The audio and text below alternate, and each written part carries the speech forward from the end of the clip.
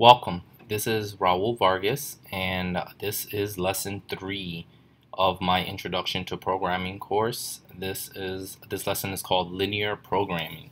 So let me open up Alice. And um, so basically, this is our intro to programming, um, our first time programming in any of the lessons. We're going to be working with this first screen over here. Um, I'm to just select a Snow People template while this window is open again. This is the welcome window. Make if it's not on template click on template select snow hit open. So basically you code by putting line dragging blocks of code in here in this window right here. Um, over here under events we're not going to be working with events just yet but I just want to point out there's there is one event by default. When the world starts do my first method? Well, this is my first method. That's why we put all of our code in here.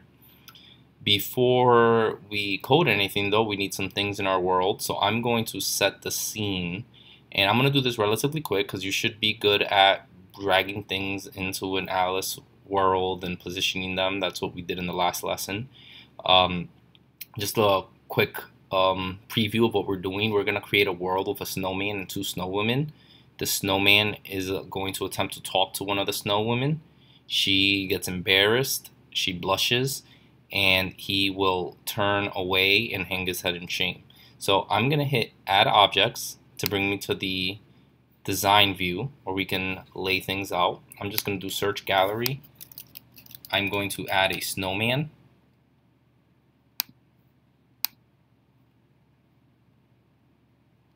And I am going to add two snow women. So one snow woman and you can add another one or you can make a copy of this one. I'll just add another one. Alright, notice it looks like there's only one snow woman, but if you look at the object tree, you'll notice that there are two snowmen in this world. I'm gonna drag, I'm gonna use the mouse to just drag, and now which one is snow woman? Which one is snow woman two? This one is Snow Woman. This one is Snow Woman too. So you know what? I'm actually gonna just kind of flip these Snowwomen. I want Snow Woman right here, and I want Snow Woman two over here. I'm gonna make them look at each other. So I'm gonna use the Turn Objects Left and Right tool. Make them both look at each other. The snowman is right here. And that's it. Our scene is set. I'm going to hit Done. And now it's time to code. So to code, again, you just drag blocks of code right here. Those blocks are called methods. You can find some of the methods under here in this details panel, but I actually prefer to use it by dragging the object right into the um, into this window and letting the menu pop up. This is similar to what we did in the last lesson when I was uh, positioning the snow people pile. So I'm going to click on snowman and I'm going to drag snowman over here and I have a bunch of options, right? So I want the snowman to turn to face the snowman. So you can do turn and then, but then you have to play around with different amounts. I'm gonna do turn to face. This is exact. He will turn to face a snowman, the entire snowman. At any point, you can hit play and watch a preview. So not much to see there. You can hit restart. See it again. Alright, so I want the snowman to turn to face the snowwoman. Then I want the snowman to try to get her attention, so I'm going to have him say ahem. Then I will have uh, the snowwoman turn to face him. Someone made a noise. She wants to see who it is. So snowwoman turn to face snowman. Then uh, let's hit play, see what it looks like so far. So he says ahem. She turns around to face him. Alright. Now I'm going to make, let's make the snowman blink.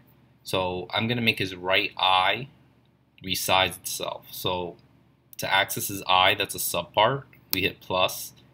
We can see the snowman subparts. You'll notice that you still don't see his eyes because his eyes are part of his head. So now you can see his left eye and his right eye. We're going to use the right eye. We're going to make the eye resize half as big and then we're going to make it go back to its uh, original shape so resize twice as big alright and um, at this point let's have the snow woman blush So we want her head to turn red. So snowman head. And we're gonna do set color to. So set color to red. You could do pink to Red is just more noticeable. So let's hit play. So the, the blink is a little hard to see. But if you look closely, you saw it, and her head turned red. Notice her hat turns a little red. That's fine. Don't worry about it. There's ways around it, but just not worth getting into it. Right now, you have to play with the sub parts of the head. Alright, um, so now at this point, I'll have the snow woman turn to face her friend. Snow woman turn to face her friend. And we should ma make her head go back to its original color. One little tip, you can um, drag any line of code to this little clipboard up here and then make a copy of that code. You just drag right out of the clipboard. And this time we'll set the color to white to bring it back to its original color. So let's hit play. He says a hen, she turns, he blinks, she blushes, she turns to face her friend. Last thing, we're gonna make the snowman hang his head in shame. So we're gonna make him, let's have him look at us first. So we'll do turn to face, camera, then I'm gonna hit the plus next to snowman. I'm gonna go to his head, and I'm gonna have his head turn forward. Um, let's do, I think all of those are a little too much. So I'm gonna type in my own, I'll do 0.1. And that should be it. So let's hit play. So he blinks right there. She blushes. She faces her friend. She stops blushing. He looks at us, hangs his head in shame. All right, so that is my uh, exercise, my example. Uh, what I want you to do is uh, replicate this, so do the same project. And for your assignment, I'm going to have you do part two to this, or, um, or actually more like an extension of this. So what happens next, that's going to be up to you. So a little opportunity for some creativity and for you to share with anyone else who's doing the course with you what you came up with. You can have the snowman, maybe she changes her mind, maybe the snowman walks away and finds someone else. Um, maybe um, her her friend convinces her to give him a chance. It's up to you. Uh, but again, this is linear programming. Notice everything starts in order and it executes one by one. And so have fun. And that's it for lesson three, linear programming.